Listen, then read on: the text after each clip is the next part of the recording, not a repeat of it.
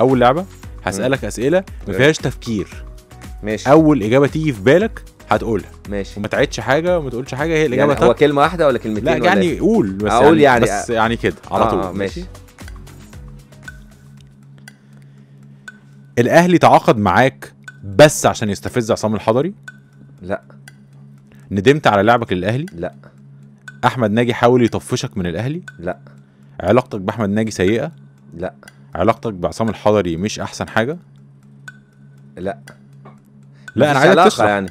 يعني عايز نشرح بقى آه، اتكلم يعني ده كله؟ سريعاً طيب، يعني، آه. سريع اولا الأهلي آه، تعاقد معايا عشان ألعب وده كان كلامه معايا آه. الحقيقة يعني مع احترامي الكامل لعصام وأنا قلت لهم يا جماعة انت عندكم عصام؟ يعني آه، فقالوا لي قالوا لي إحنا محتاجينك رقم واحد ماشي. عندنا. ضحكوا عليك؟ آه، يعني ممكن الظروف اتغيرت ممكن آه، الأمور اتغيرت. إنما بالعكس أنا عمري ما ندمت إن أنا لعبت الأهلي يعني. ولا عمري قلت على فكرة.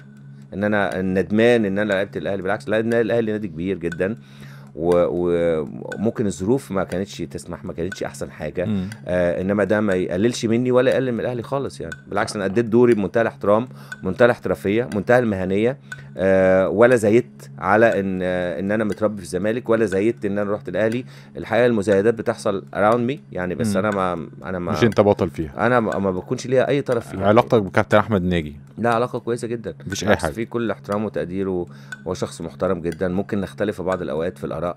ده ما نختلف في الرأي. إنما ممكن ما نختلفش ما بيننا كأشخاص بالعكس. علاقتك بعصام الحضري عصام الحقيقة علاقة زمالة يعني علاقة لما نتقابل بالصدفة بنسلم على بعض؟ و... آه لما يعني نتقابل بالصدفة. بس- بالصدفة بتتقابلوا بنتقابل وبتسلموا على بعض وكل حاجة؟ قريب- يعني إحنا آه. في نفس ال area يعني. آه ففي أوقات بنتقابل في في كافيه في مطعم بالعكس بنتقابل وما فيش أي مشكلة خالص يعني. خلاص عدينا المرحلة يعني.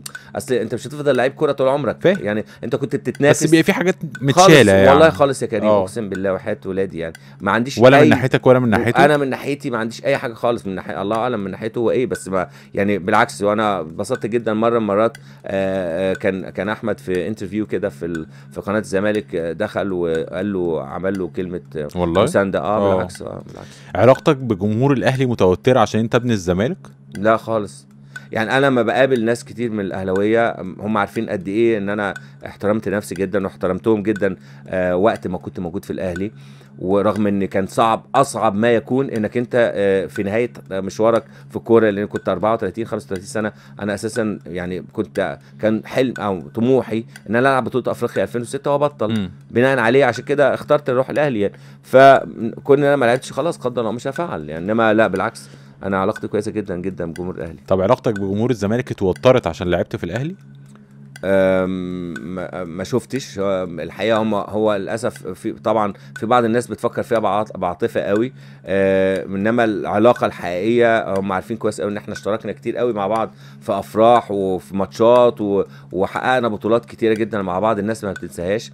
وإنما ممكن يكون البعض يقول النادر بتاعنا. طب آه، ما هو بس مشواري الاحترافي الحقيقة لأن أنا ما بع... خلاص وانس إن أنا مشيت من الزمالك ما رحت بروج وبعد كده رحت على اليونان وبعد كده على على الاتحاد وعلى المصري وعلى جولدي وعلى إنبي وعلى كل الكلام ده. هو مشوار هو الأهلي مشوار احترافي. منتهى الاحترام منتهى الاحترافية آه ما بزايدش مع حد ولا على حد يعني. في يوم من الأيام لو أحمد جه قال لك أنا عندي عرض من الأهلي ممكن توافق؟ والله هو قراره بقى. قراره هو بس آه، أنت قرار. نادر السيد الله هتوافق أعلم الله أعلم بس هو الله أعلم بس يعني, يعني أحمد خلاص يعني هو إن شاء الله قررت في, في الاحتراف وخلاص. مش هيرجع مصر. إن شاء الله أتمنى. وأنا أتمنى. والله إنه ما أتمنى يرجعش إن شاء مصر. الله. طيب مين الحارس الدولي اللي من وجهة نظرك بينضم للمنتخب في السنين الأخيرة وهو ما أثبتش إنه يستحق الفرصة دي؟ أه ما أثبتش. لا شايف إن كلهم الحقيقة. كلهم أثبتوا؟ آه يعني يعني آه، دلوقتي أفضل اتنين في مصر ينضموا للمنتخب رقم واحد ورقم اتنين هو ابو جا هو شناوي ابو جبل. الشناوي رقم واحد وأبو جابر رقم آه اثنين آه, آه بصراحة. محمد الشناوي أفضل من نادر السيد وعصام الحضري؟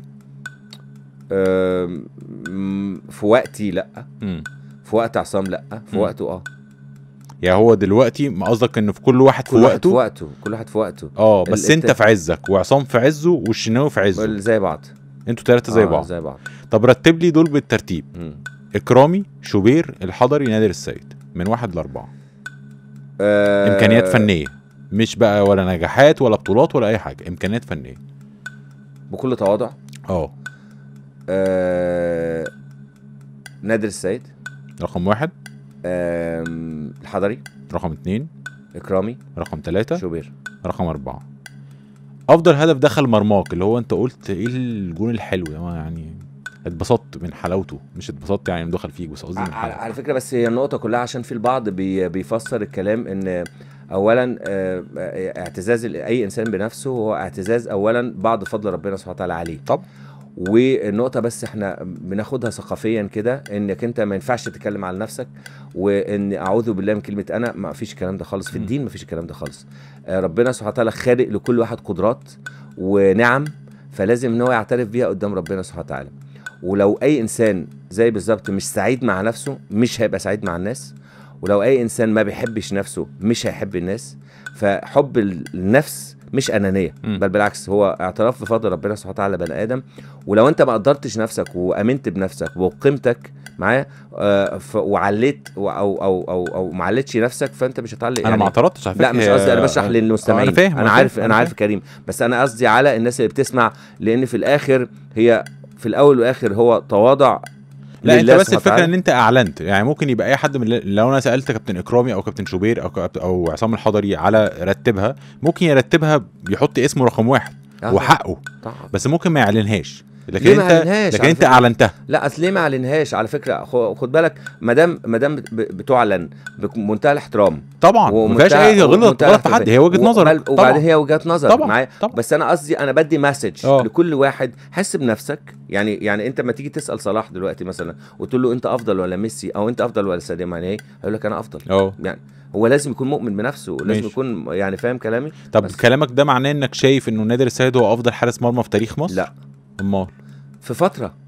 في فترة. آه في فترة. عمر عمر ما كان افضل حارس في تاريخ مصر بس مطلق دايما الناس بتسأل الحضري في عزه نادر في عزه شوبير في عزه اولا في عزه أو اولا مين أحسن فيهم اولا فنيا؟ كلنا ما جيناش مع بعض. ما أنا فاهم بس آه، قصدي لو حطيت؟ الإمكانيات دي تتكلم على بعض؟ أكتر أفضل أكتر حارس حقق إنجازات لمصر هو عصام الحضري. مش عايزه كلام مفيش كلام. فيهاش نقاش دي مفيش يعني. أي آه نقاش، لكن فاهم؟ الباقي بقى وجهات نظر مين أحسن في فنيا الآخر دي في الآخر أنت ما تيجي تتكلم عن عصام الحضري هو أكتر أو أفضل حارس مرمى في- إلى الآن مم. في تاريخ مصر حقق بطولات آه. لأن ممكن يجي واحد تاني يكسر كريم أو آه، نادر آه، أو آه. علي أو حسين آه. يحققوا بطولات زي عصام وأكتر حقق كأس عالم صح. مثلا على سبيل المثال. فاهم إنما ما فيش شك إن كل واحد في الفترة بتاعته كان عظيم جدا إكرامي في فترته عظيم شوبير في فترته عظيم آه، الحضري في فترته عظيم جدا ونادر نفس الموضوع والشناوي نفس الحال حلو أضعف مدافع لعب قدامك كان مين أضعف مدافع مم. اللي كنت بتحط إيدك على قلبك لما بتلاقيه في التشكيله الأساسية. ما فيهاش زعل على فكرة عادي وجهات نظر برضه. كانوا في ولد اسمه سليمان سنجاري كان بيلعب معايا في جولدي. آه؟ فاكره. طبعا فاكره. طب بيقلش بيقلش على طول. واقوى مهاجم واجهته كان مين؟ آه وليد صلاح الدين الحقيقة وإحنا بنلعب ماتشات الأهلي كان طبعا. آه، مش طبيعي وليد. جميل. غير. متوقع. آه آه آه. طبعا. طب أنا خلصت خلاص.